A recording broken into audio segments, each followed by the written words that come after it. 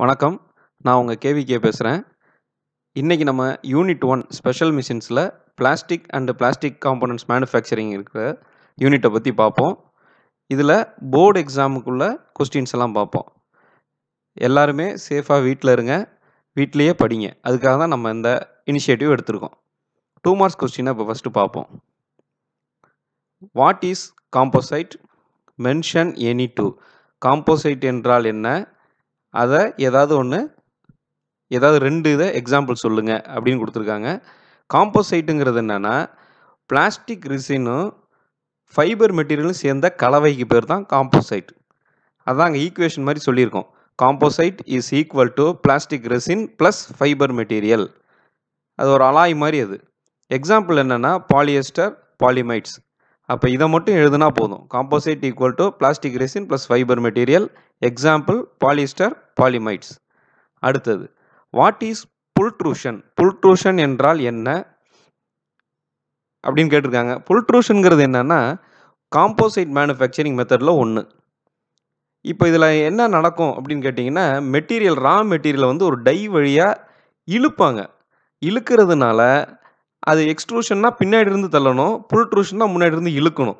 பேரே சொல்லுது புல்ட்ரூஷன் அப்போ ஒரு டை வழியாக ரா மெட்டீரியலை இழுத்தீங்கன்னா உங்களுக்கு தேவைப்படுற காம்பனண்ட்டு வந்துடும் இதில் என்ன அட்வான்டேஜ்னா இந்த இது எங்கே பயன்படுத்தலாம்னா யூனிஃபார்மாக ஒரு செக்ஷனோட ஒரு ப்ராடக்ட் வேணும் அப்படின்னா அங்கெல்லாம் நீங்கள் வந்து இந்த புல்ட்ரூஷனை பயன்படுத்தலாம். அதை தான் இங்கே சொல்லியிருக்கோம்.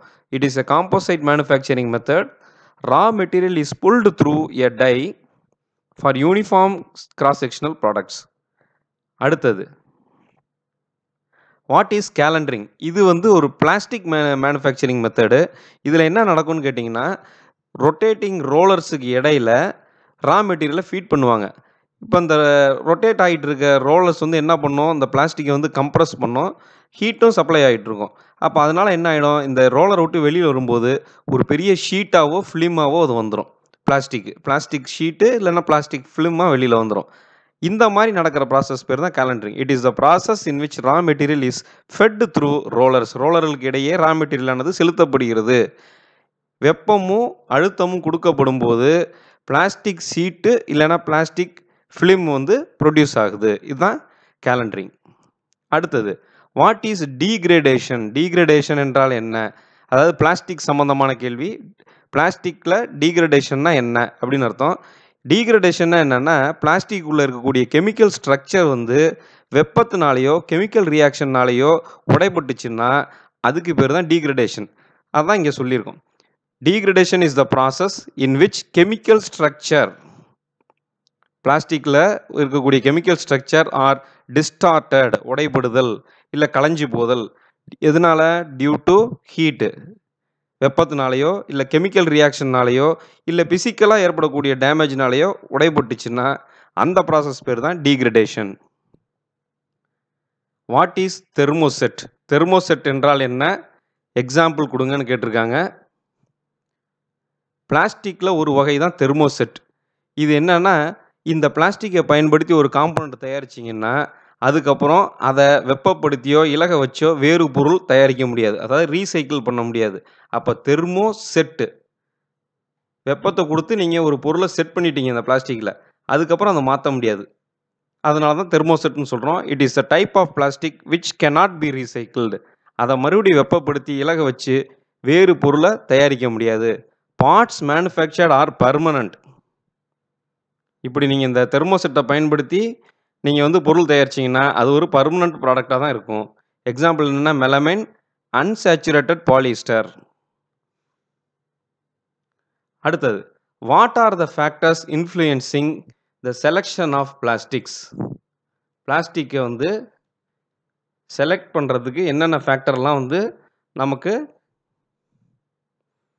வச்சுக்கிட்டு பிளாஸ்டிக் அதாவது நமக்கு தேவைப்படுற பிளாஸ்டிக்கை செலக்ட் பண்ணுறது எப்படி அப்படின்னு பார்க்குறாங்க மெக்கானிக்கல் ப்ராப்பர்ட்டிஸ் இருக்குது டீக்ரடேஷன் ப்ராப்பர்ட்டி இருக்குது வியர் ரெசிஸ்டன்ஸ் இருக்குது ஃப்ரிக்ஷனல் ப்ராப்பர்ட்டிஸ் இருக்குது தெர்மல் ப்ராப்பர்ட்டிஸ் இருக்குது இந்த மெக்கானிக்கல் ப்ராப்பர்ட்டிஸ்லேயே பிரிட்டில்னஸ் டக்டைல்னஸ் எலாஸ்டிசிட்டி பிளாஸ்டிசிட்டி இதெல்லாம் வரும். வியர் ரெசிஸ்டன்ஸ் வந்து இருக்கணும். ஃப்ரிக்ஷனன் வந்து கம்மியாக இருக்கணும். இந்த மாதிரி விஷயங்களெல்லாம் பார்த்து தான் எந்த பிளாஸ்டிக் நமக்கு தேவைங்கிறத டிசைட் பண்ணுவோம். இதுதான் factors influencing the selection of plastics பிளாஸ்டிக்கை வந்து செலக்ட் பண்ணும்போது எதெல்லாம் கவனிக்க வேணும் அப்படிங்கிறதுக்கு உண்டான ப்ராப்பர்ட்டிஸும் இங்கே கொடுத்துருக்கோம்.